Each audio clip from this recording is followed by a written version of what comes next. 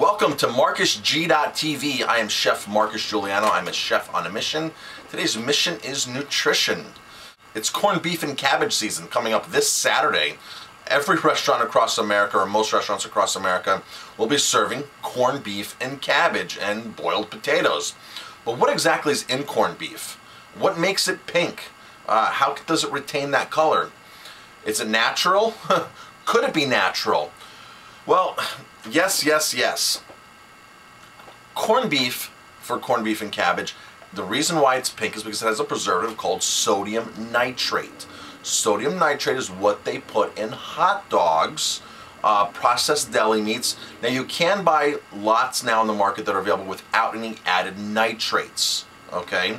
Uh, Applegate has a line, there's a lot of small producers. We buy a chorizo here, a grass-fed real grass-fed, grass-finished beef chorizo that has no nitrates.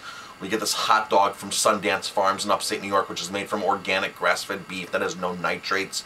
The disadvantage to not adding nitrates, and this is what the problem is with the food manufacturers, the shelf life is diminished, okay? This is all about profits that we're talking. In the 70s, the USDA wanted to ban the use of sodium nitrate, but the food manufacturers were the ones who said, how are we going to extend the shelf life? How are we going to make this a safe product? So they convinced the USDA to allow them to put sodium nitrates in.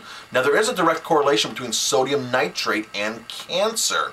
There's a lot of links on the internet. There's a lot of studies that are done. Uh, you can go to Dr. Mercola. You can go to Mike Adams, the health ranger. Uh, you can go to Gary Null. There's lots and lots of evidence, supporting evidence, that nitrates that are in sodium nitrate that are added into cured meats have a direct correlation with cancer, especially colon cancer. And when you think about it, all processed meats like hot dogs and all these deli meats like ham, they contain a large amount of fat too. Um, so you have a high fat food, you have a chemical additive, plus in the high fat, you have all of your contaminants. Because let's face it, a small portion of animals in America are actually raised hormone-free, antibiotic-free, um, you know, out on green pastures. That's really not the norm here in America. So you have all these contaminants that go up the food chain. This is why tuna has mercury in it, because tuna eat other fish and it gets concentrated in the fat of the tuna. Same thing with cold cuts, processed meats, deli meats, corned beef. Corned beef comes from the brisket, and the brisket's a highly fatty cut of beef. So all these dioxins, PCBs, all these other contaminants, these heavy metals get stored in the fat of the animal, just like you know, in us, that's where we store all that. The fat, all these things go right to the fat. Um, so what can you do here? Um, you can skip the corned beef if you eat corned beef. Um, but a lot of people really don't want to skip the corned beef. So there is a natural way to make corned beef, and I was really impressed because Alton Brown, when you so first thing you search when you search Google, when you uh, go on a Google search for corned beef recipes, Alton Brown pops up, and he has a recipe up there on the Food Network that has no added nitrates, no pink salt. Pink salt is the thing that the chefs use, and it comes in. I remember 14, 15 years ago. The places I had worked in the cold in the charcuterie department, they were using sodium nitrate or pink salt to cure the meats and add to the shelf life. And back then I was a young chef and I had no idea. It was just some kind of salt because it says pink salt on it or saltpeter, which is curing salt. That's what has sodium nitrate in. So a lot of chefs are using this, not really realizing what it is. Um, and back then there was just really no, I, wasn't in the realm, I wasn't ready to understand the dangers of the, our food supply.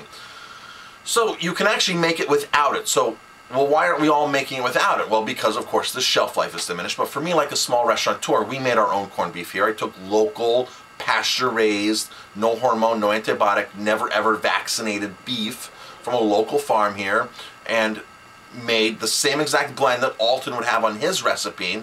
Basically, it's pickling spice. You can take pickling spice or a variation of pickling spice. You can add ginger, you can add a couple things to it to fit your tastes and you add some kind of high quality salt. Uh, they recommend kosher.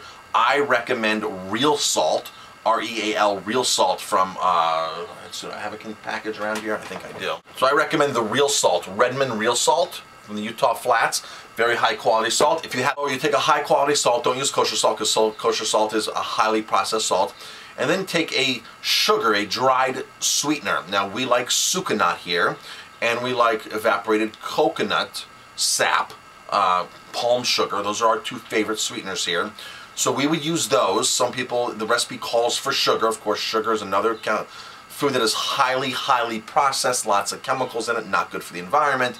Uh, so something like sucanat has a much less impact on the environment. So you can take, substitute the sucanat for, this, for the sugar. You can substitute the, the good salt, the real salt, for their kosher salt, and use pickling spice. And this brines for about five days. And after it brines, you take it out of the brine, so water and all those things I mentioned. Take it out of the water, and then you slowly poach it, very, very, which is a small simmer.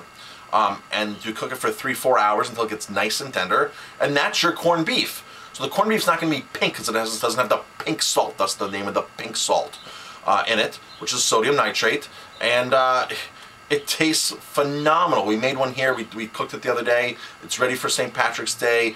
Uh, it is phenomenal. We're so excited. Um, we make it ourselves every year. The only thing is you need to plan ahead of time. You need five days to really uh, brine or cure this, as, as you'd call this. Um, so say no to sodium nitrate, say no to uh, pink corned beef.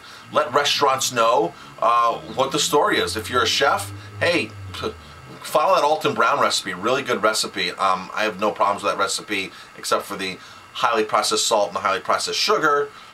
So this is interesting. In an article from uh, Mike Adams, the health ranger, um, he's saying to protect yourself when you're consuming these meats to take a high dosage of vitamin C and vitamin E. Because what happens when you consume nitrates, they produce nitrosamines, which are the cancer-causing nitrosamines that um, are highly publicized. Well, he's saying that if you consume vitamin C and vitamin E in large amounts, that actually it's not going to make that conversion uh, once you ingest it. Um, but of course, you know, the idea is not to ingest the processed meats to begin with. So, you know, what, what, do you do? Well, if you do, take the vitamin C, take the vitamin E. It doesn't say how much. Um, you know, I, he mentions a good thing here, chlorella. Chlorella is that uh, single cell, um, 10 micron uh, phytoplankton from the ocean or fresh water that uh, krill eat, that uh, salmon eat, that uh, has tons of antioxidants. The neat thing about chlorella is chlorella really can get rid of a lot of the heavy metals in your system. Over the course of a month, by taking chlorella, you can really, really make some major improvements in your in your blood results and in the in the level of high mercury in your um, uh, tox toxins in your system. So It's relatively inexpensive, and you want to get the broken cell chlorella, and that's what goes into your body and just acts like a sponge and just starts grabbing all these metals and then getting them out of your system. It's really an awesome food, chlorella, um, or superfood, or supplement, however you want to, want to label it. Uh, but definitely take chlorella on a regular daily. My kids take it every single day. Uh, some of the uh, best athletes in the world, some of the best top vegan athletes in the world are hooked on chlorella, and it's a really phenomenal superfood. So, I'm Marcus Julian. I'm a chef on a mission. Today's mission was no pink. No pink in your corned beef.